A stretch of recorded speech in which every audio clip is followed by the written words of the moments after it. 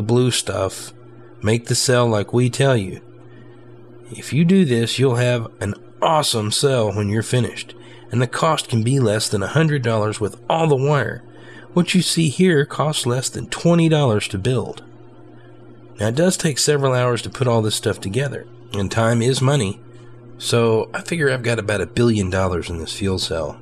We spent over three years working very hard to make sure this system works properly. On top of this dryer, you put this putty on just like this. If it gets really hot, it will actually melt away, cause a leak, and well, that's far more acceptable than catching fire. So the putty, just like this. If it's exceeding the temperature of this putty, there's something wrong anyway, and you need to check your system. So this putty can act as an indicator to how hot your cell is actually getting as well. The putty will get very tacky at the high temperatures, but it will not flow into the cell and it won't melt away or cause a leak. As long as you're in the right temperature threshold. When the vacuum is applied, the stuff will self heal in the smallest of holes. Now, in the vacuum pressure fuel cell, we only use baking soda as an electrolyte. Other fuel cells on the internet are using lye. This fuel cell uses baking soda, and the byproduct, which is an iron particle which looks a lot like orange mud in the fuel cell, is very important.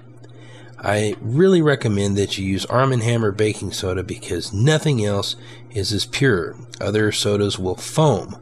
And the amount of soda that you use is also very important. We're not just using baking soda as an electrolyte. We have an anode which will self destruct and will add to the alkaline process. We add about 1 to 3 grams of baking soda. We usually use about this much. Give you a size reference here. It's about the size of a quarter there, you see right there. This is about how much baking soda you're going to put inside the fuel cell. Now, in winter, you can add up to three pieces this size. Now, that's a pretty good measurement for you. Okay, this photon injection system is very powerful. At certain wavelengths, the atoms will absorb energy. And if those wavelengths are outside the thresholds of those energy gates or bands, then the photons are just bounced off in most cases. However, in this vacuum chamber, we have superheat gas taking place. In other words, the atoms are moving toward cold. So the very hot, hot photons will move toward the much cooler gas. The cooler gas will take on the energy, if not in the photon state, then in the superheat state, just like Freon in a refrigerator. This much hotter gas has a much higher electron voltage. It has more pop. It has more bang. And when it goes into your engine, it is extremely dry in the vacuum state. Now, this bulb can be purchased usually for about $5. This is one of the most inexpensive xenon bulbs that you can buy. Please use this exact type. It's 55 watts DC, 12 volts. Using this photon injection heating system on your HHO vacuum pressure fuel cell can increase the performance tremendously, especially on your low end takeoff and engine idling. You won't believe how smooth your engine will idle with this hot, warm hydrogen oxygen gas entering into the fuel system, creating a super efficient burn that will give you more miles per gallon without violating the laws of thermodynamics.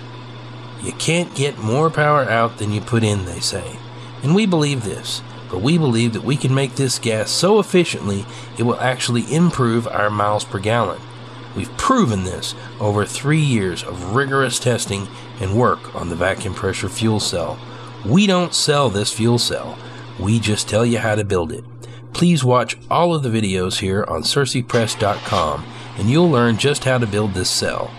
Things that have changed, like the larger jar, the larger clips, and the photon dryer, can all be found in the forum. So if you're interested in building a vacuum pressure fuel cell, join our forum.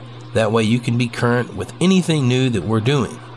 Please be very careful You accept all liability for what you're doing. Using a photon injection system in a vacuum is extremely safe.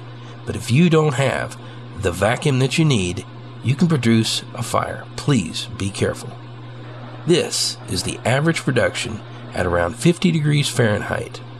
The water will change over the course of a thousand miles. We do not add any water to the vacuum pressure fuel cell because we won't have to. It won't freeze down to 12 degrees Fahrenheit. This water will break in over the course of a thousand miles. When it's ready to change, our anode will be completely destroyed except for the fragments which we've showed you in the video. Well, I've run out of time and I've said all I can say. There's much more information in our older videos and we hope that this information will help you understand the vacuum pressure fuel cell, the concepts of paramagnetism, quantum mechanics, and thermodynamics. Thanks for watching SearcyPress.com.